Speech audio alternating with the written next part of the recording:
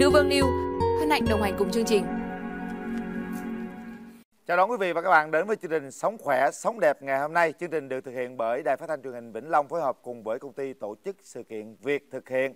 Ngày hôm nay chúng ta sẽ đến với một chủ đề cũng à, rất là nhạy cảm, rất là được các chị em phụ nữ quan tâm, đó là viêm lộ tuyến cổ tử cung.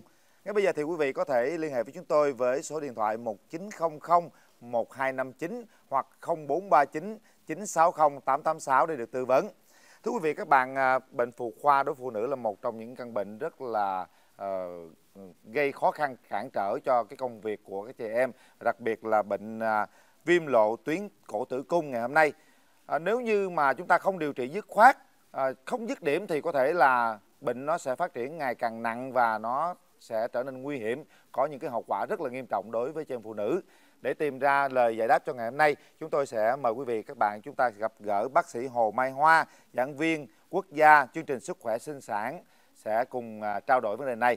Uh, khái quát về à, viêm lộ tuyến cổ tử cung. À, trước khi trò chuyện với à, bác sĩ Hồ Mai Hoa thì Quỳnh Linh xin mời quý vị chúng ta tiếp tục đến với tình huống đầu tiên.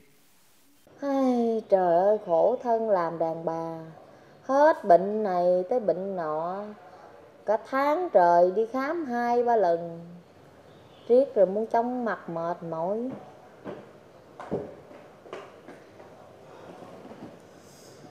Ý chị tiền trời ơi. Ủa phương? Dạ chị. Trời đất ơi. Ôi chị khỏe không?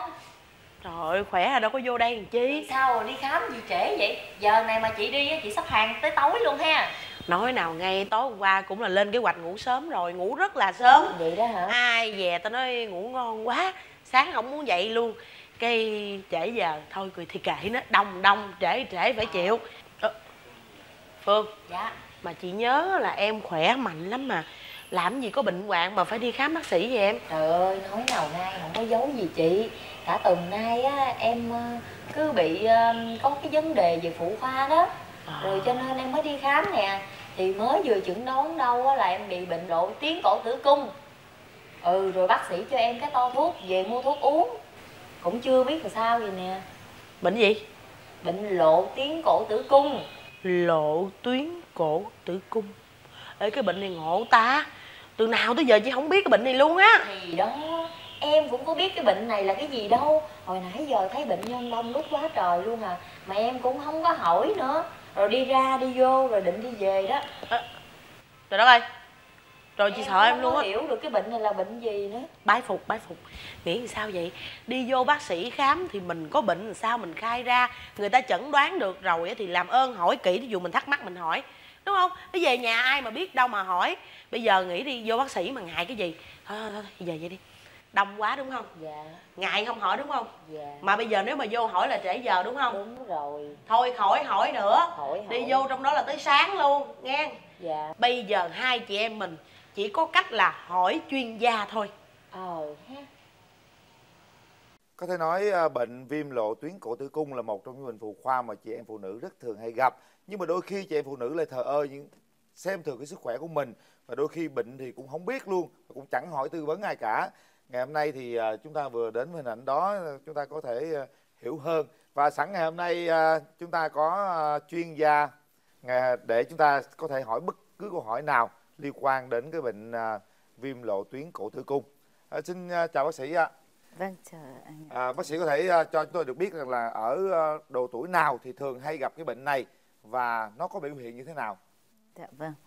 À, thực tế thì ờ, anh ờ, đang chúng ta đang nói về cái bệnh là viêm lộ tuyến cổ tử cung. Thì thực chất là nếu như chúng ta tách ra để chúng ta thấy là à, thực tế là nó là hai cái tổn thương kết hợp. À, thứ nhất là tôi có thể nói là cái bệnh lộ tuyến cổ tử cung. Thế, thế thì ở đây chị em phụ nữ trong độ tuổi sinh đẻ là ừ, bắt đầu có quan hệ tình dục cho đến là mãn kinh thì thường là cái cổ tử cung nó có rất nhiều chị em phụ nữ là cái tỷ lệ mà bị lộ tuyến khá là nhiều. Cái cổ tử cung thì nó rộng khoảng à, à, với đường kính là khoảng 1,5 đến 2 cm. Vâng, và nó tròn, nó có một cái lỗ ở giữa thì à, để cho kinh nguyệt hàng tháng ra và có chất dịch từ trong buồng tử cung và sinh sản ra thế và nếu như hành kinh hàng tháng thì nó qua cái lỗ đấy nó cũng ra từ cái lỗ cổ tử cung thế và nó xuống đường âm đạo thế thì đối với lộ tuyến. À, có nghĩa là à, đáng ra nếu như bình thường cái cổ tử cung là nó có một cái lớp tế bào lát tầng nó phủ ở đó và nó nó làm cho cái cổ tử cung rất là mềm mại và rất là nhẵn nhụi à, đẹp màu hồng và nó tròn trịa. Thế nhưng mà à, nếu như mà với một cái à, tác động nào đó mà để cho nó mất mất cái lớp tế bào lát tầng thì nó sẽ cái tế bào trụ ở trong lỗ cổ tử cung nó sẽ phát triển nó bò ra và đấy chúng tôi gọi là lộ tuyến. Thì thực tế cũng xin báo với lại chị em phụ nữ trong độ tuổi sinh nở là đây là một cái tổn thương lành tính không có gì đáng lo cả. Thế nhưng mà à, nếu như mà ai mà bị một cái tổn thương lộ tuyến mà nó rộng ví dụ như khi đi khám phụ khoa mà các bác sĩ phụ khoa lại nói là chị bị à, lộ tuyến 2 ly, 3 ly, 4 ly và nếu đã đến 5 ly, 6 ly thì như vậy là đã là khá rộng. Đấy. Và thường đối với những người mà cái tổn thương lộ tuyến nó khá rộng như vậy thì uh, nếu như kém vệ sinh thì nó sẽ kèm theo một cái tổn thương thứ hai mà tôi đã nói là đó là viêm nó đi kèm thì chúng ta gọi chung là viêm lộ tuyến cổ tử cung. Đấy. Còn bây giờ thì Quỳ Linh xin mời quý vị chúng ta sẽ đến với tình huống thứ hai. Ê, ê, ê. Chưa rồi, chưa rồi, đi ăn trưa đi, đói quá. Thôi, hôm nay em không có đi đâu. Em cảm thấy mệt mỏi trong người lắm. Đi ra đó ồn ào lắm, nhức đầu lắm. Em không có đi đâu. Chị ở đây với em đi. À, trời đất ơi. Thiệt tình, khổ dễ sợ. Thân với nó làm chi? Rồi bây giờ nó buồn là phải ở trong phòng với nó chứ không có được đi ăn. Chắc chết quá. Nhưng mà thôi kệ. Chị em mà có sao đâu. Coi như là giảm cân, ha. Nhưng mà nè, thôi đừng có ủ rũ nữa. Trời ơi, có hai chị em trong phòng ủ rũ nhìn chán chết. Bây giờ tôi hỏi nè, làm cái gì mà từ sáng đến giờ cái mặt trầm dầm vậy? Vợ chồng gây lộn rồi phải không? Gây đâu mà gây. Chị á, có bao giờ bị mắc bệnh phụ khoa chưa? Trời ơi tưởng cái gì? Có vụ đó không mà buồn đó hả? Đây chị nói cho nghe bệnh phụ khoa đó là hầu hết đó là 10 người phụ nữ hết 8 người bị rồi. Nhưng mà còn phải tùy theo là cái mức độ nặng hay nhẹ hiểu không? Đừng có lo lắng quá. Trời ơi chị biết không? Cái mức độ của em là nó căng thẳng dữ lắm rồi. Em lo lắm luôn á. Sao mà lo? Chị biết không? Mức độ của em là căng thẳng dữ lắm luôn. Sao căng? Em lo lắm. Em bị á viêm lộ tuyến cổ tử cung trời đất ơi. Cho nên bác sĩ chỉ định á em phải uống thuốc. Uống thuốc trị viêm phải không? Đúng rồi uống thuốc trị viêm ngay tại chỗ. Rồi sao nữa? Mà hả bệnh của em nó ờ, lộ tuyến nó còn bị nấm nữa kìa. Trời đất ơi vừa bị lộ tuyến mà còn vừa bị nấm nữa hả? Bởi vậy ông xã em á ông cứ càm ràm gì em á mà ông phải uống thuốc chung với em đó chị. Đất ơi đàn ông gì đâu mà ích kỷ dễ sợ. Hèn chi hồi sáng á chị thấy ông chở em đi làm mà cái mặt chầm dầm một đống như cái mâm vậy đó, đó rồi sao rồi bây giờ cái cách chữa trị làm sao nè bác sĩ có chỉ cho em là cái cách nào mà để mà làm cho nó hết bệnh không có bác sĩ nói là sau khi em trị hết viêm á ờ là em phải đi đốt điện rồi à. laser gì đó đốt đó. laser để Đúng cái tuyến đó đúng đó, không đó, nó chị cũng đó. có nghe nói rồi mà à, em nghe nói vậy á ba cái thứ đó là em nổi hết cả da gà luôn á chị. Thôi ráng đi ai biết được lỡ làm vậy mình hết bệnh sao? Bác sĩ có chắc là hết không? Em cũng biết là ba cái loại này á, là nó có hết hay không nữa. Mà nó cứ tái đi tái lại hoài chắc em khổ chết luôn á chị ơi. Trời đất ơi thì thôi bây giờ nếu mà sợ đốt thì mình phải tìm một cái phương án khác. Thí dụ như là có cái thuốc nào đó ai giới thiệu cho em Thì không? đó em á đi ra tiệm thuốc tây người ta có giới thiệu cho em thuốc là nữ vương niêu à, à, nghe nói đâu cũng hiệu quả dữ lắm mà em đang phân vân không biết có nên mua hay không nữa ây chà cái này á, muốn biết mua hay không mình phải hỏi chuyên gia mới biết được em à bởi vậy Chúng ta vừa nghe một cái từ à, đó là đốt diệt tuyến. Vậy thì à, bác sĩ Hồ Mai Hoa có thể à, chia sẻ đốt diệt tuyến là như thế nào, những thông tin cơ bản về nó và những cái thuận lợi của nó cũng như những cái hạn chế về vấn đề này. Vâng, à, thực chất thì như tôi nói ngay từ đầu, tức là cái phần tuyến ở trong lỗ cổ tử cung, thì cái tổ chức tuyến đấy nó bò ra.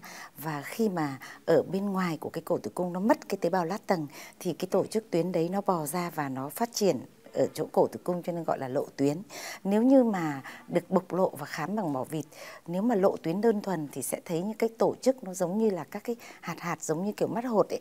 Nếu mà nó màu hồng tuyền thì chúng tôi gọi là lộ tuyến đơn thuần. Thế còn nếu như mà nó lại kèm theo cái đỏ rực thì nó là viêm nhiễm. Và viêm do cái gì thì chúng tôi sẽ xét nghiệm và điều trị như vậy. Thế thì thực tế đối với những người mà lộ tuyến mà bác sĩ nói là diện rộng tức là khoảng 5 ly, 6 ly hoặc là toàn bộ cổ tử cung chẳng hạn thì như vậy là bắt buộc là phải điều trị viêm trước đã.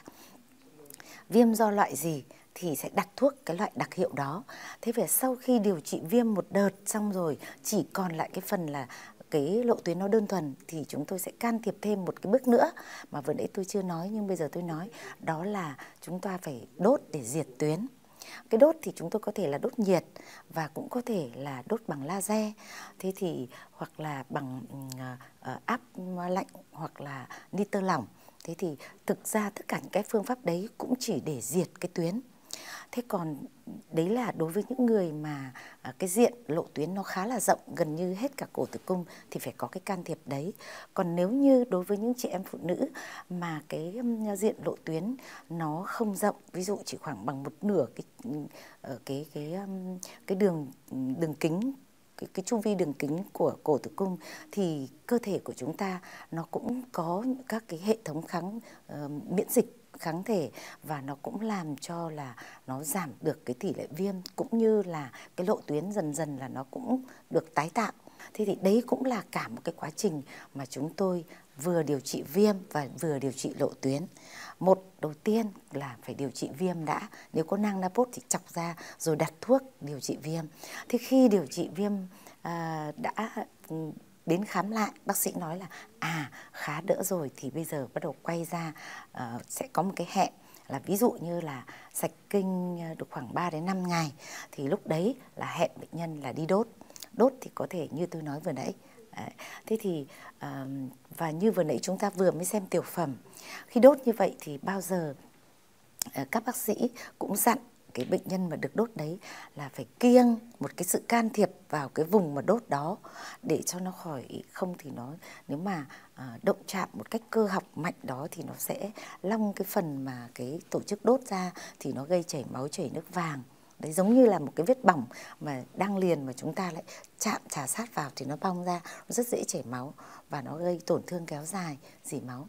Thế thì cho nên là nếu như chúng ta xem cái tiểu phẩm vừa nãy thì mới thấy là đức ông chồng lại bị một cái kiêng kỵ rằng bác sĩ nói là phải kiêng khoảng một tháng hoặc là tháng rưỡi hoặc đến hai tháng nó là như vậy Linh nghĩ rằng vâng. xem xong cái tiểu phẩm này cho cánh mày râu của nó hiểu vâng. và chúng ta ờ, phải giữ gìn cho bà xã của mình ha vậy thì cái việc uh, viêm lộ tuyến cổ tử cung nó có ảnh hưởng gì đến cái việc thụ thai của chị em phụ nữ thực ra nếu nó bỏ cái chữ viêm mà nó chỉ có lộ tuyến đơn thuần thôi thì nó cũng chẳng ảnh hưởng gì đến cái việc mà thụ thai của người phụ nữ cả.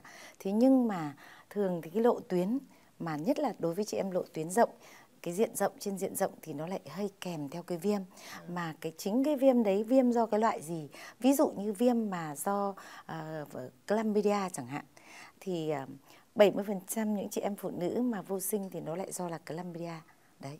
Thế thì nói như thế để thấy rằng là thực tế quan trọng nhất là nó lại kèm theo cái viêm mà cái viêm đấy do cái vi khuẩn gì thì nó lại ảnh hưởng đến cái việc mà có thai của chị em phụ nữ vâng. yeah. Dạ. Vậy thì ngày hôm nay bác sĩ Hồ Mai Hoa có thể đưa ra những cái phương pháp cũng như lời khuyên nào dành cho chị em phụ nữ trong cái việc ăn uống hợp lý, trong cái việc sinh hoạt cho nó hợp lý để tránh cái tình trạng là viêm à, lộ tuyến cổ tử cung ạ.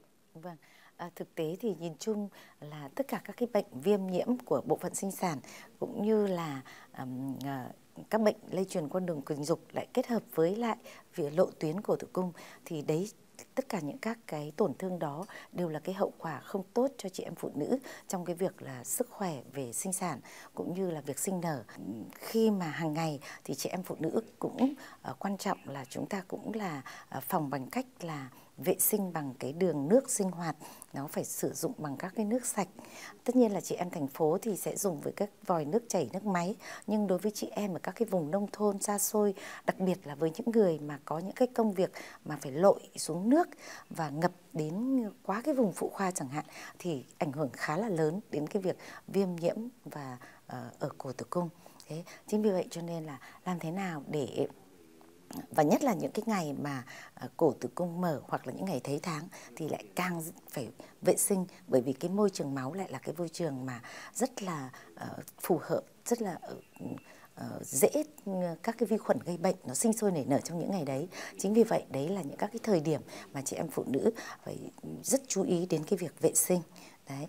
Thế và nếu như có bất kỳ một cái dấu hiệu gì khó chịu như là ngứa ngáy hay là có mùi hôi hay là có những dấu hiệu như là đáy buốt, đáy sắt hoặc là những các cái rau hợp đau chẳng hạn. Đấy là những các cái dấu hiệu mà nói lên là um, có cái biểu hiện bệnh hoặc là những các cái dấu hiệu như là có cái um, soi uh, rửa tay vệ sinh có những cảm thấy như có các cái u nhú hoặc là những các cái ờ, gợn gợn mà nó không được bằng phẳng ở cái vùng vệ sinh hay là các cái chỗ đau như là soi đèn kỹ lại thấy cái ổ loét chẳng hạn dù nông dù sâu to hay nhỏ hoặc mụn nước thì tất cả những các cái dấu hiệu đấy là dù có dấu hiệu cơ năng đau ngứa hay không thì cũng phải đến các bác sĩ chuyên khoa điều trị càng sớm càng tốt, được xét nghiệm và được điều trị càng sớm càng tốt để phòng tránh những các cái hậu quả sau này. Vâng, thì đấy là những điều mà chúng tôi khuyên. Và nếu như chị em phụ nữ nào mà không có bất kỳ một dấu hiệu gì biểu hiện ra bên ngoài thì chúng tôi cũng khuyên là cần phải đi khám phụ khoa một cách định kỳ. Còn bây giờ thì Quỳnh Linh xin mời quý vị chúng ta sẽ đến với tình huống tiếp theo.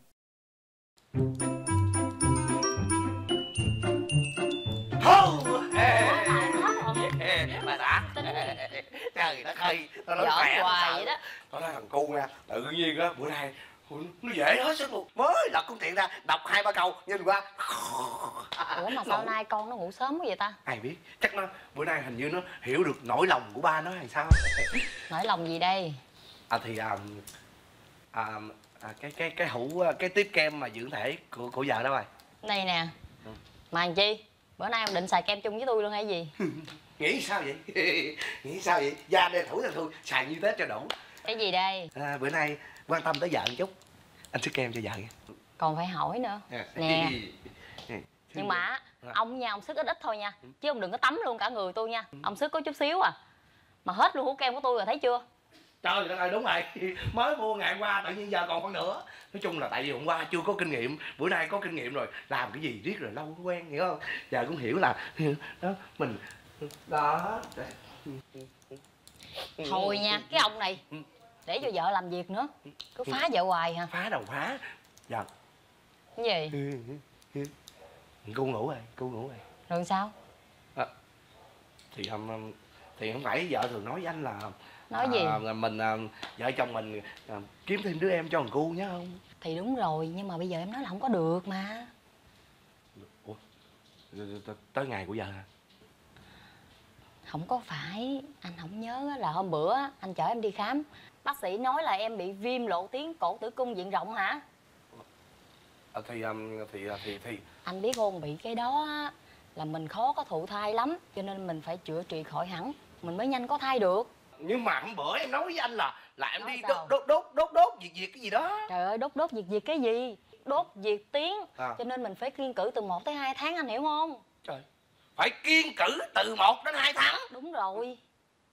Trời ơi sao mà lâu vậy em á bây giờ phải đi tìm hiểu coi coi có một cái sản phẩm nào để hỗ trợ chữa cái bệnh này. Chứ nếu mà chờ lâu vậy chắc chết tôi quá cái ông này. Chúng ta thấy cái sắc mặt à, đau buồn của người phụ nữ chúng ta cảm thông được cái điều đó và mong rằng với ông chồng cũng sẽ chia sẻ những cái à, khó khăn đó phụ nữ ha. À, nhưng mà cái tình trạng của cô gái này chia sẻ thì cô linh thấy là rất là nặng vừa viêm lại vừa có nấm nữa. Thì bác sĩ có thể uh, chia sẻ kinh nghiệm để làm sao điều trị được cái này hay là cái này nó có nặng lắm hay không ạ? À? Vâng, à, thực chất thì ờ, ở đây thì cái tổn thương của chị phụ nữ này đó là vừa lộ tuyến cổ tử cung mà vừa viêm do nấm Candida albicans. À, đây là được gọi là cái nấm men. Thì thực chất thì cái nấm này đối với ở, ở âm đạo của cổ tử cung của người phụ nữ thì thực chất nó là cái bệnh nội sinh do người phụ nữ. Và à, thường thì nó sẽ để lại những các cái dấu hiệu khá là khó chịu đối với chị em phụ nữ. Ví dụ như là các cái dấu hiệu như là à, có cái chất dịch ra thì màu đặc quánh à, khó chịu và rất là khô và mùi thì cực hôi như là cá ươn ấy. Thế và rất là ngứa đấy là cái đặc điểm làm cho người phụ nữ rất khó chịu.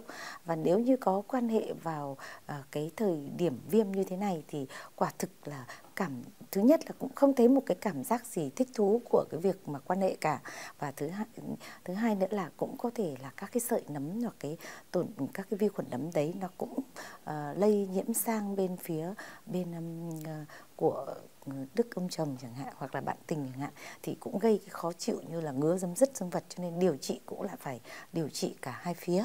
À, thưa bác sĩ Hồ Mai Hoa, ngoài cái việc mà chúng ta đốt diệt tuyến đó thì còn một phương pháp nào Ờ, uống thuốc hay gì đó để hỗ trợ, để nó rút ngắn cái thời gian mà nãy ông chồng nói mà hai tháng, nó còn chừng tháng không? À? Vâng, thực tế thì ờ, đức ông chồng nào hoặc những người đàn ông nào cũng mong muốn là làm thế nào để đỡ khỏi bị kiêng. Vâng, hoặc hoặc là cái thời gian kiêng nó ngắn lại. Thì thực chất thì với một cái tổn thương mà chúng tôi diệt tuyến mà phải đốt như thế thì đúng là tạo một cái vết bỏng. Mà vết bỏng đấy muốn nó được liền thì thực chất là nó cũng phải có một cái thời gian để nó các cái tế bào lắt ừ, ờ, tức là tế bào đáy là cái lớp tế bào có thể để tái tạo cái lớp tế bào của cổ tử cung thì lớp tế bào đáy nó sẽ uh, tạo nên những các cái tế bào mà nó làm liền lành. Uh, thế thì uh, thực tế uh, bên cạnh những các cái um, thuốc vô cùng đặc hiệu là điều trị viêm cũng như là cái phương pháp mà đốt diệt tuyến uh, rất là chuẩn mực của Bộ Y tế uh, để để điều trị cái viêm lộ tuyến cho chị em phụ nữ thì từ trước đến nay chúng ta vẫn thực hiện. Điều đấy là rất là tốt. Và bên cạnh đấy gần đây thì chúng tôi cũng thấy là À, nếu như mà chúng ta có thể là dùng thêm những các cái sản phẩm mà mang tính chất thảo dược nó uh, hỗ trợ thêm cho cái tính đặc hiệu của uh, phương pháp thì cũng là uh, gây nên uh, tạo nên những các cái miễn dịch ừ, cơ thể ờ, tốt hơn cho cho cơ thể cũng như là cái sức đề kháng của cơ thể. Và để nhanh liền cái tổn thương hơn, thì ờ, chúng tôi thấy là những các cái sản phẩm mà có cái thành phần như là imogama thì ờ, cái imogama nó được tách chiết từ cái thành vách của các cái tế bào ờ, các cái tế bào vi khuẩn lành tính nó là cái tế bào như là lactobacillus fermentum. thế thì khi mà cái imogama này mà nó vào trong ờ, dạ dày thì nó lại không bị phá hủy bởi cái axit dạ dày của cơ thể.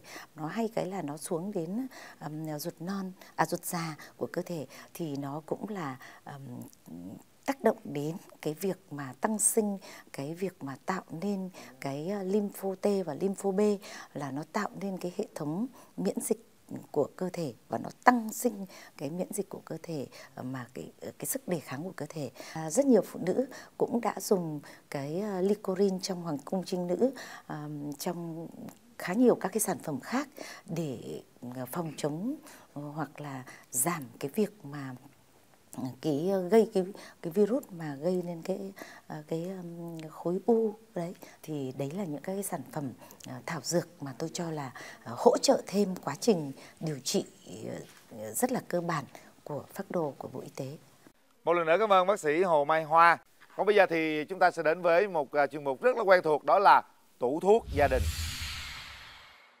Trên thực tế, do hậu quả của việc điều trị bằng kháng sinh diệt hết vi khuẩn có hại, đồng thời cũng diệt luôn cả vi khuẩn có lợi, gây mất cân bằng pH âm đạo, biến âm đạo trở thành môi trường cực kỳ thuận lợi cho nhiễm nấm, trùng roi và tạp khuẩn. Đây chính là nguyên nhân cơ bản làm cho viêm lộ tuyến cổ tử cung cũng như viêm âm đạo dễ bị tái phát và khó điều trị dứt điểm. Mình từng bị viêm lộ tuyến rất là nhiều năm và cũng đã từng thử mọi phương pháp chữa trị, từ dùng thuốc đến đốt laser để diệt tuyến, nhưng bệnh cứ khỏi được một thời gian thì lại bị tái lại. Mình cảm thấy vô cùng mệt mỏi và khó chịu, nhiều lúc còn có bẩn cả với chồng mình cũng không hiểu tại sao bệnh viêm lộ tuyến của mình lại khó chữa dứt điểm đến thế có một lần mình đi khám phụ khoa tại phòng khám của một bác sĩ phụ sản uy tín Bác sĩ khuyên mình sau khi diệt tuyến nên dùng những sản phẩm có nguồn gốc thiên nhiên để phòng viêm lộ tuyến và các bệnh phụ khoa khác. Mình đã chọn sản phẩm nữ vương niu. Bây giờ thì mình đã hoàn toàn cảm thấy yên tâm vì biết được rằng viêm lộ tuyến cổ tử cung không hề khó chữa dứt điểm như chúng ta vẫn nghĩ. Nữ vương Niu là sự kết hợp hoàn hảo giữa Đông và Tây y với các thành phần chính như trình nữ hoàng cung, hoàng bá, khổ sâm kết hợp với Imungama và Pregnenolone đem lại hiệu quả sử dụng sau từ 3 đến 6 tháng, giúp xua tan nỗi lo viêm nhiễm phụ khoa, đặc biệt là viêm lộ tuyến cổ tử cung. Trong cái viên mà nữ vương liêu ấy thì ngoài cái imogama mà tăng cái ờ, hệ miễn dịch ấy thì nó còn ừ, có thêm cái là uh, osododecana uh, mà có trong diếp cá mà nó có tác dụng là kháng khuẩn và nó có cái ờ, uh, flavonoid trong cái khổ sâm thì nó có tác dụng là chống viêm và nó có licorin trong hoàng công trinh nữ là ức chế cái quá trình sinh trưởng của virus gây bệnh thì uống từ ờ, 3 đến 6 viên để kéo dài trong vòng ừ, 2 đến 3 tháng. Với những thành phần như vậy, nữ vương niu có tác dụng nhanh chóng làm lành các tổn thương do viêm nhiễm và lộ tuyến gây ra, kiểm soát tiết dịch âm đạo, cân bằng pH âm đạo, tăng sức đề kháng, khôi phục lại cơ chế tự bảo vệ của hệ sinh dục nữ. Kết hợp với thuốc đặc trị giúp diệt tận gốc nguyên nhân gây viêm, ngăn ngừa tái phát viêm nhiễm phụ khoa ở phụ nữ, phòng tránh u nang buồng trứng, u sơ tử cung và các biến chứng của viêm nhiễm phụ khoa. Mời quý vị và các bạn quan theo dõi và đặc biệt là chúng tôi vẫn tiếp tục tư vấn cho quý vị nếu như có những câu hỏi cần thiết quý vị hãy gọi về số điện thoại 1900 1259 hoặc là 0439 960 886 để tư vấn quý vị nhé. Một lần nữa thì à, cảm ơn bác sĩ Hồ Mai Hoa. Chúc bác sĩ thật nhiều sức khỏe và mong rằng bác sĩ sẽ tiếp tục à, cộng tác với chúng tôi để chia sẻ những cái kinh nghiệm đến à, quý khán giả truyền hình. Còn bây giờ thì chương trình Sống khỏe, sống đẹp do Đài Phát thanh Truyền hình Vĩnh Long phối hợp cùng với công ty tổ chức sự kiện Việt thực hiện. Xin chào tạm biệt và hẹn gặp lại vào lúc 10 giờ thứ bảy hàng tuần trên Đài Phát thanh Truyền hình Vĩnh Long. Xin chào.